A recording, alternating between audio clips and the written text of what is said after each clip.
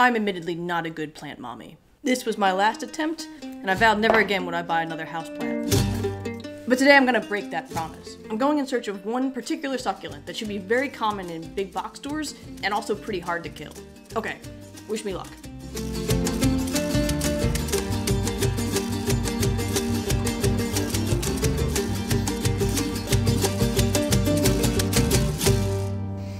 Oh, here it is.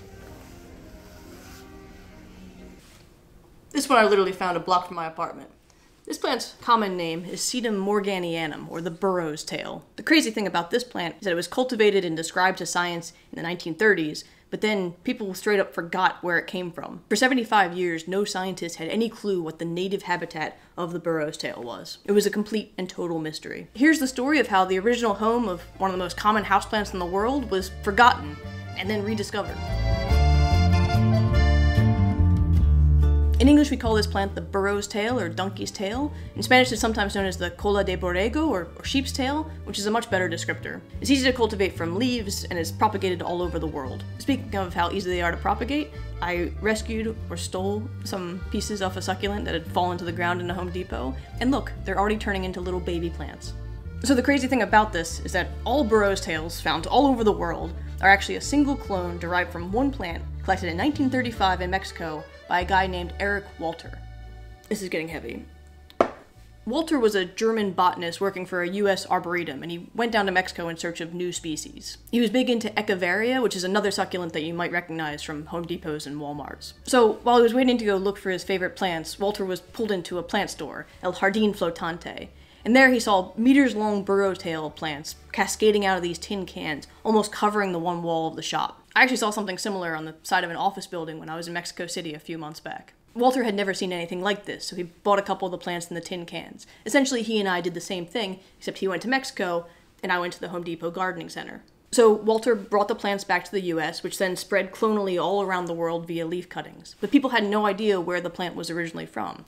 They assumed it was somewhere near the nursery, which was in a place called Coatepec in Veracruz, due east of Mexico City. The store actually still exists, so they've changed the name, and you can see it on Google Street View. But in the decades since the burro's tail was bought from the plant store, searches for it in the wild came up empty handed. That is until 2010, when scientist David Jimeno announced that at long last he had found the wild burro's tail.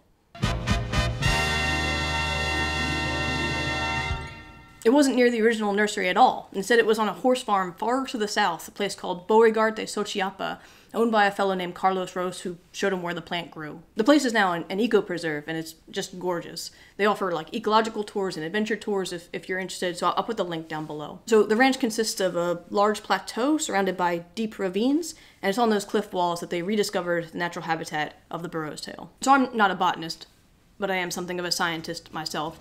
And when I'm feeling particularly down, I think about how papers that take me years of my life to write are going to be read by so few people. But then I think about how I read other people's papers and they get me excited about science all over again. And this account of how they rediscovered the natural habitat of the burro's tail is one of those papers. I'm very glad that they solved a mystery older than most people about the original home of a succulent sold in bodegas and gardening centers around the world. My life, and hopefully now yours, is enriched for knowing a bit about it. We do this kind of, you know, basic science, science without a, an immediate practical importance, for the same reason we take care of a plant. Because it's cool, and it's better than not doing it. So I'll end by saying thanks very much, muchas gracias, to Carlos Ros, David Jimeno, Miguel Cházaro, and all the other scientists for their efforts. If you like these kinds of sciencey videos, uh, please do consider subscribing. Got a lot more planned for the rest of the year. I literally found this one two blocks from my apartment. This got, oh Jesus. I'm gonna take this, hold it here, and then drop it. Drop them. I'm dropping it, you're gonna catch it. How am I catching? it? I can't be smiling, it's supposed to be, it's supposed to be serious.